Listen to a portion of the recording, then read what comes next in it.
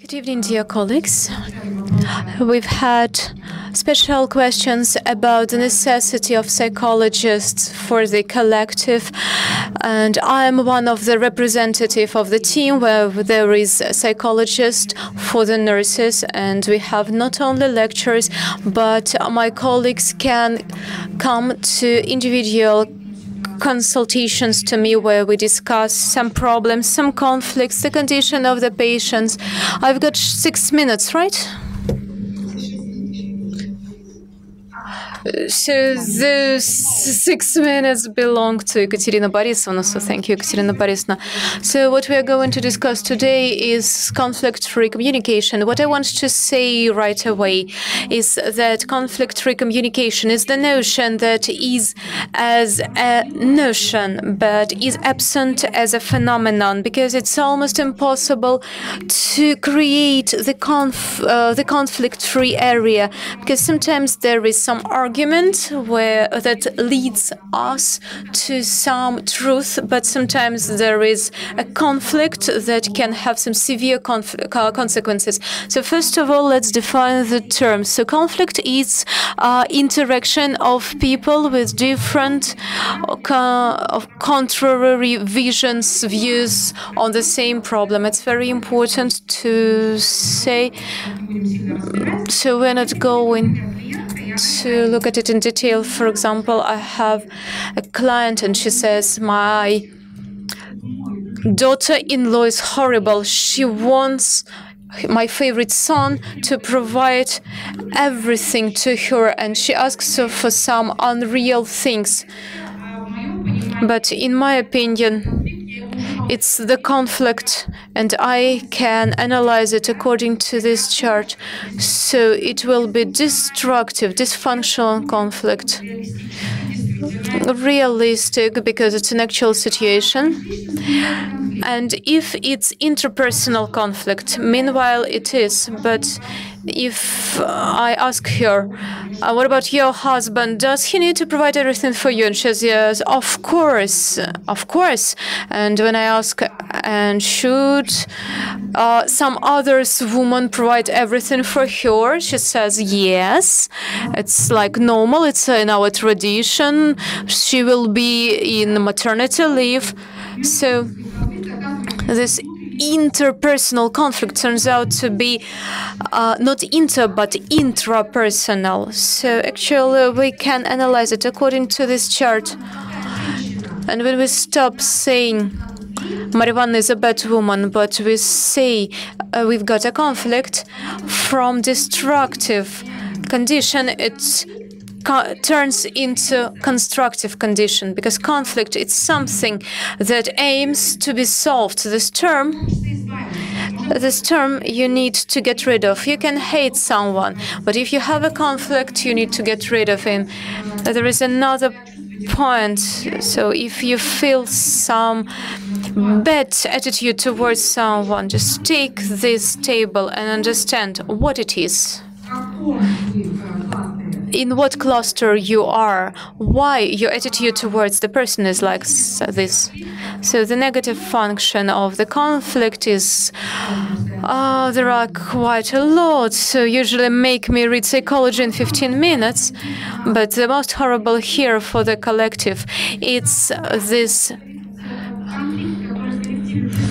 this shadow.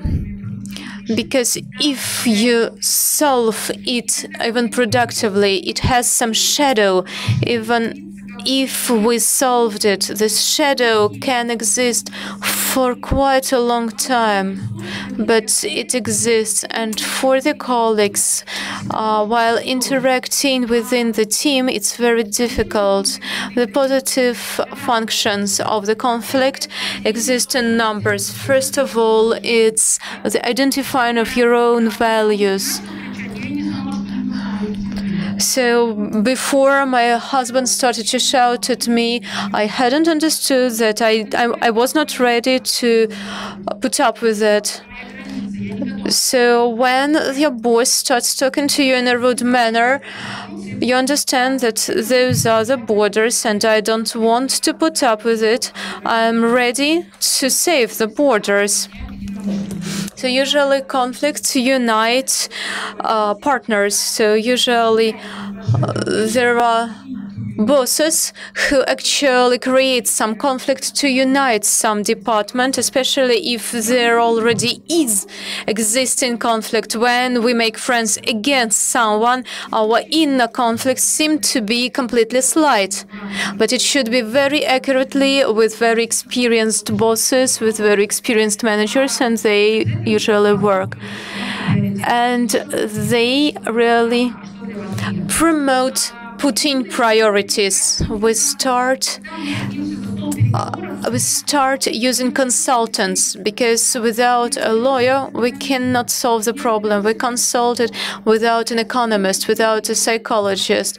So interfamily conflict can enlarge the zone of specialists you need to solve the problem.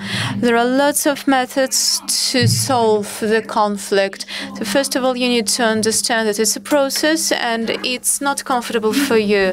So the methods and the people will appear very soon. For example, we've got me. We've got a very good manager.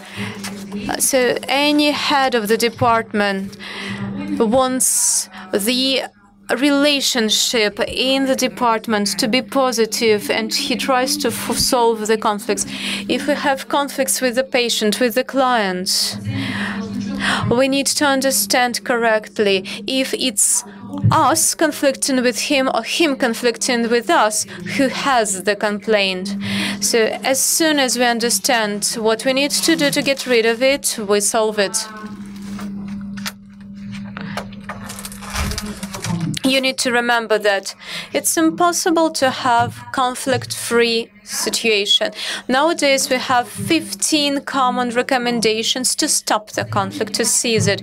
First of all, constant attention to the partner. So egocentrism, it's the main problem of all the conflicts. I want something. I want, I'm not pleased with something, but there is always some other person. So walk in his shoes. And sometimes we realize that it's very strange. I, am a practitioner. And sometimes when there is a session, I, I, I ask them to role play and they are very surprised to understand that it's a very complicated position for our, uh, uh, for their partner. It's usually has to be friendly attitude. So those of my colleagues who know me in palliative therapy, I usually say, don't be afraid to be a, a patient. But taking into consideration our hedonistic epoch and this fear of death, the medical worker cannot imagine him to be a patient. So it's very impossible for them to imagine themselves as a terminally ill patient, but sometimes it's very, very useful to walk in their shoes. What would I want if I feel so bad? So friendly and respectful attitude. So natural attitude in reflection of your feelings. You so it's the mirror method. Start talking as he does. So it's the volume, the speed. Sometimes the person starts to get connected to you. Especially it works with patients because they're suppressed. It's very rare situation when it's a positive reason to come to us, to sympathize, to underline common interests to come and to say, Ludmila Petrovna, we've got a conflict. I don't want it to exist. We have a common goal.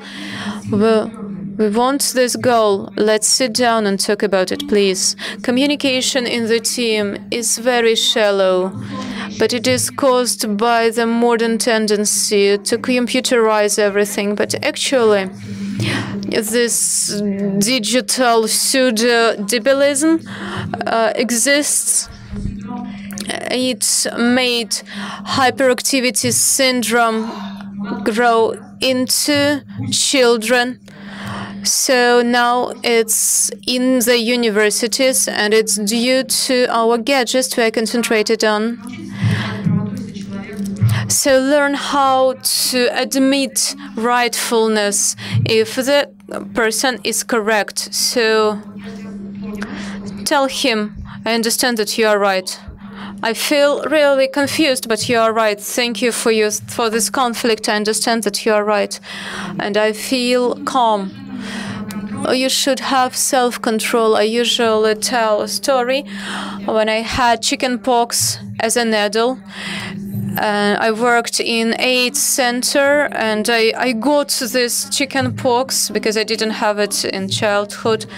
And the chief nurse in the infectious department, she was criticizing the other medica- uh, the other staff. I was sitting in my ward and I was thinking, who's nervous? If it's the chief nurse, or what the ordinary nurse could have done?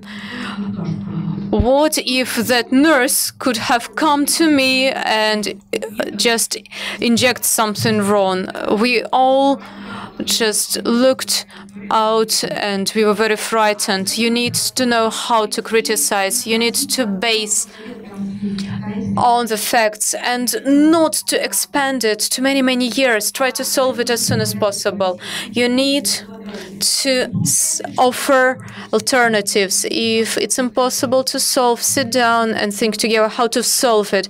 You need to demonstrate your interest. Uh, you need to increase uh, the significance of your partner. You're very important to me as a colleague, as a partner. Let's consider. So, as for verbal and uh, non-verbal methods, it's the method of mirror. It's very important to exclude mistakes in the very beginning. So, usually people uh, getting uh, taken manager position, they start gathering a new collective, a new team. So it's very important when we come to the team. I understand what we need from you, and this is the instruction how to use me. It should be like that. We come to the interview we are told what the organization is, but we need to talk about ourselves as organization. You may say you should praise me regularly. I work better. If you want to say something honestly, just say it at once. You'd better write to me because I'm very nervous. So if you've got some complaints, just write in WhatsApp because I'll just have it better solved. It's individual approach to your employees point it out. We help our managers to communicate with us. It's the problem of all the relationship between men and women. We ask too few questions about ourselves because we are full of hormones and in three months it turned out that he had a wife and whoa and of course the formula of constructive and positive responsibility. So positive, constructive, learn how to communicate as professionals. I always say, apart from us, every person has so much pain, so much sorrows. Please don't add more coming into somebody's life, leave light there. It's professional. We work in the socially mm, uh, notable profession because we try to help the patients, but we harm each other. It's not okay because it's the significance we measure. It's not okay. And this mutual responsibility divided share it. If you see it's the mistake, just come to him and say it's not his, it's our, because it's very important to stay shoulder by shoulder. And also teaching, we've got a very good schedule according to which the nurses, it's uh, more difficult with physicians, we have effective time management, the skills for managing for senior services, uh, prevention of professional burnout, conflict and how to work with it. We get together, we discuss it People call, people come. I've got this pair problem with my colleague, and also, we have this mentoring with tutoring project. It will be a working document. I will be in charge for it. We will have the council of tutors. It will be our Greek cardinal for managing this, and we will solve the problem.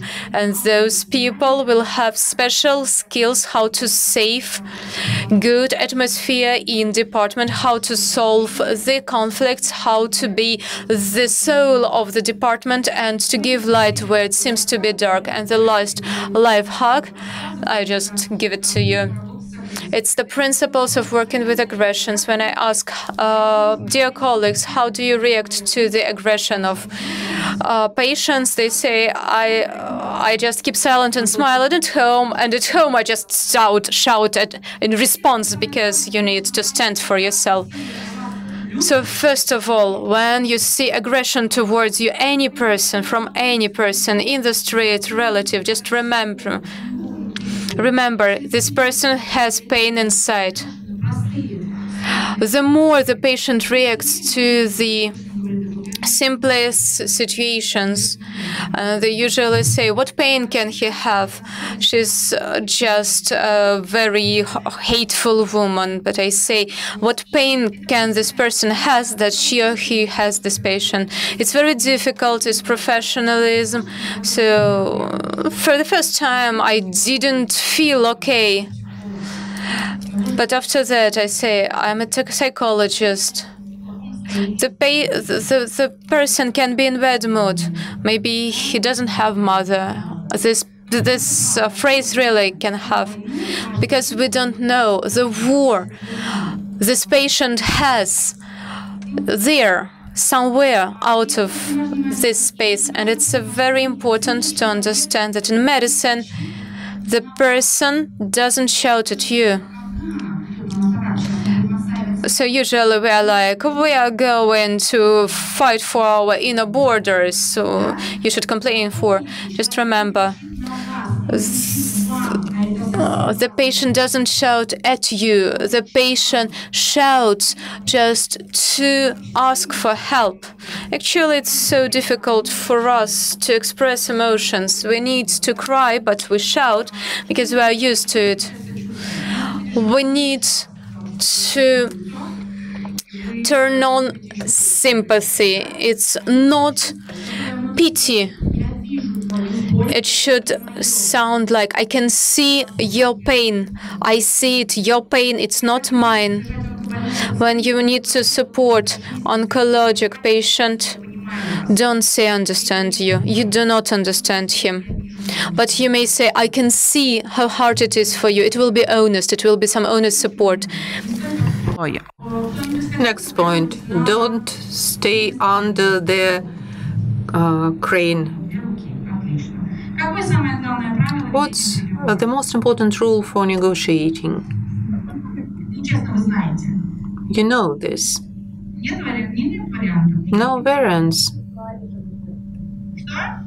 What?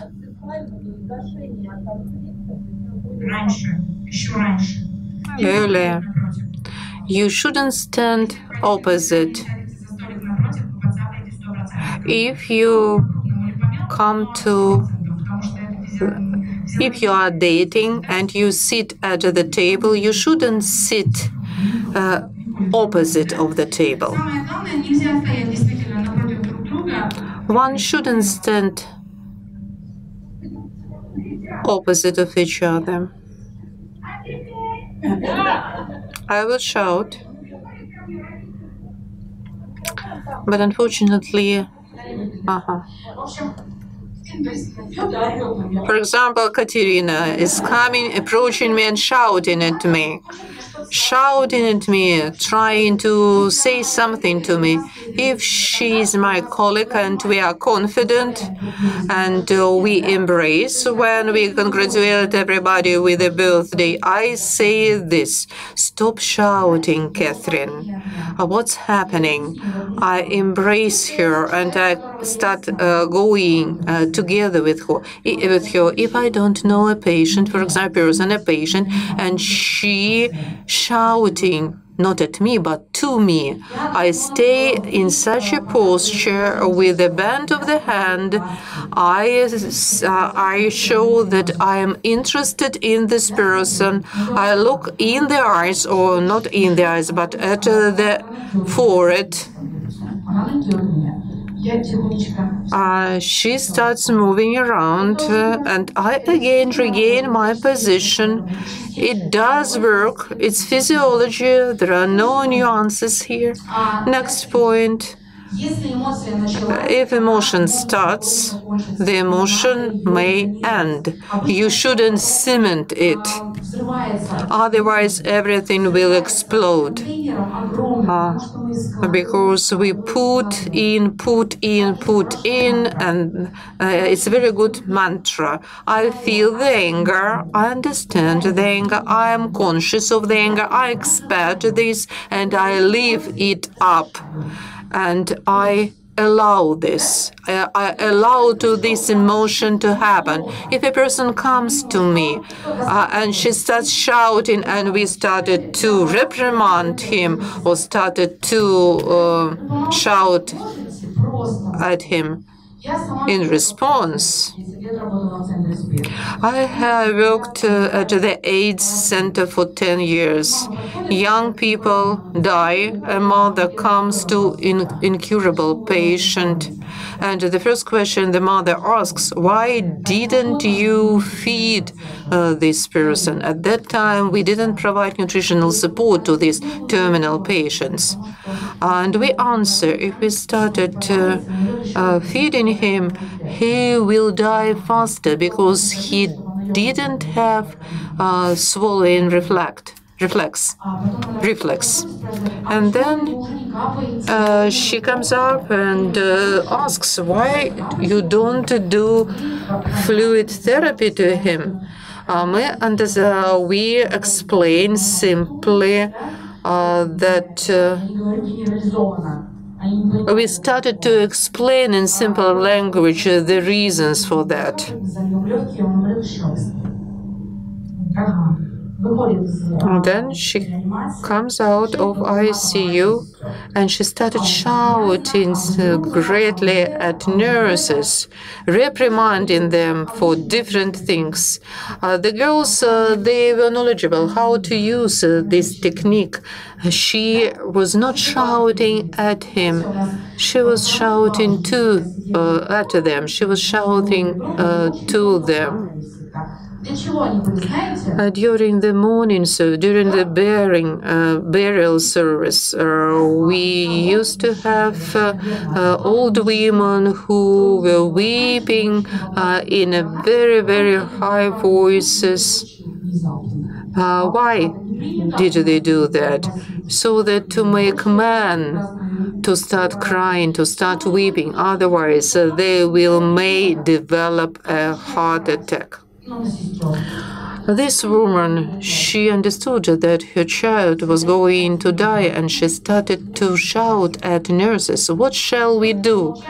Just to ask questions, just maybe to uh, to ask, How can I help you right now? Right now, it's a keyword. If, for example, you ask, uh, How can I help you? Uh, she may have uh, said that just collect money for funeral.